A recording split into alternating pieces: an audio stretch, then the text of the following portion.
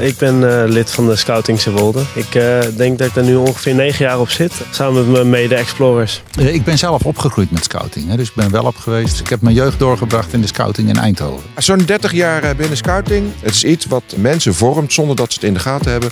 Want het gebeurt namelijk door een spel.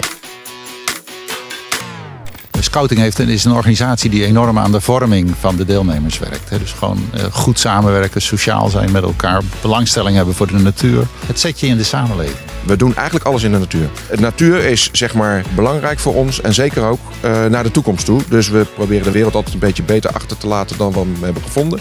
Dat geldt zeker voor de natuur. Je ziet in de laatste tijd dat er steeds meer eh, last is van het eh, broeikaseffect natuurlijk.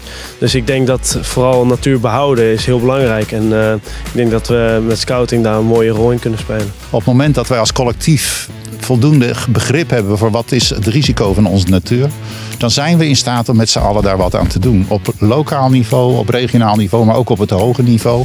En het geloof in we kunnen er wat aan doen, zit ook in de organisatie van scouting.